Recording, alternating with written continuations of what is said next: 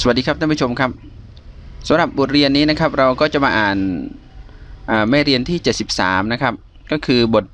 บทจำเรียงชื่ออมตูกนะครับ หน้าแรกเนี่ยเป็นตัวโน้ตนะครับ เดี๋ยวเราจะข้ามไปอ่านหน้าที่ 2 เลยนะครับเชิญอ่านพร้อมกันเลยนะครับ เมเรียนเจ็ดสบายจำเรียง อมตูกอมตูกบองอมตูกเตาออนาเนียงนา ឮសូរគ្រូគ្រូទៅបេះទៅបេះផ្កាឈូកអណានាងណាដោះក្នងបឹងកក់អូផ្កាឈូកអើយអណានាងណាដោះចេញពីផក់គួធុំគួធុំអាក្រក់អណានាងណាម្ដេចលើយឈ្ងុយឈ្ងប់ទៀងមើមក្រអៅអូណានាងណាទៀងម្សៅឈ្ងុយសព ดอกกระนองดอกกระนองใดระบบโอนาเนียงนาตรลับเจียละออ่าทีนี้มาดูความหมายนะครับคำว่าอมตูกนี่ก็แปลว่าแจวเรือนะครับ นี่ก็เป็นเรื่องอภาพประกอบบองอมตูกเตาพี่พายเรือไปออนาเนียงนานี่ก็คือ โอ้นางเอยอะไรนี่เหมือนกับเป็นแค่สร้อยนะครับ ลือโซกรูกรูก ได้ยินเสียงกรุกรุกอันนี้เสียงพายเรือนะครับเตาแบะเตาแบะปากาชูกนะครับ ไปเก็บไปเก็บดอกบัว โอนาเนียงนาดอกกระนองบึงเกาะนะครับอ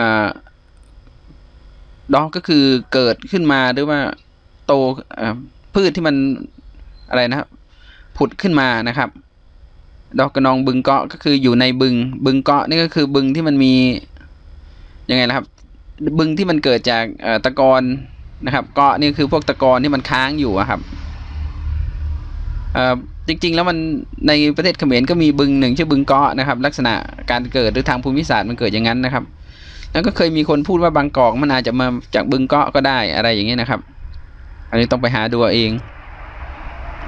โอปกาชุกเอยโอดอกบัวเอยนะครับ โอนาเนียงนาดอกจันปีเพาะนะครับอ่า เกิดขึ้นมานะครับจากตมจากโคลนนะครับ กลัวทุมกลัวทุมอาเกราะนะครับหมายถึงว่ารากมันเนี่ยมันมันมีกลิ่นเหม็นนะครับ ทุมอาเกราะครับ มันมีกลิ่นเหม็นกลิ่นไม่ดี โอนาเนียงนา มันได้เลยชงุยชงบแต่ว่าทำไมมันถึงมีกลิ่นหอม ผมหมายถึงว่า ขณะที่พวกรากพวกเง่าเนี่ยมันโตในโคลนเลนกลิ่นเหม็นใช่ไหมครับแต่ปรากฏว่าดอกบัวมันเนี่ยตัวดอกมันเนี่ยกลับหอมนะครับ เตียงมืมกระเอานะครับ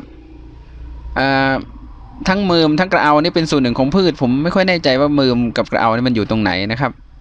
โอนาเนียงนา เตียงมะเซาชงุยชงบ แล้วก็ทั้งมะเซามะเซาหมายถึงแป้งนะครับคงหมายถึงพวกเกสรหรือพวกแป้งที่อยู่ที่ตัวดอกมันนะครับชงุยซอบก็คือ อ่าหอมไปทั้งหมดนะครับแสดงว่าพวกนี้มันอยู่ใกล้ๆกันใช่ไหมครับ